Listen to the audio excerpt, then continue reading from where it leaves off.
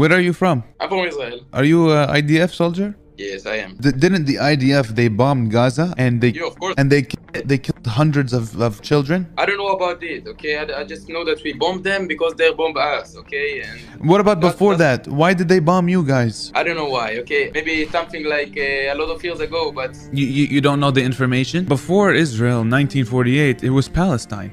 Yeah. Oh uh, no, it, it's called Israel. No, it, it, it was called Palestine before 1948. maybe it is. And it still is. Right now, it's occupied Palestine, yes. Yeah. I wish IDF kill more children. Okay?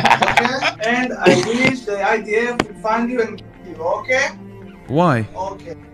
No, I don't know. The motherfuckers only Israel, no Palestine. And if you talk it like again, I will f you in your okay?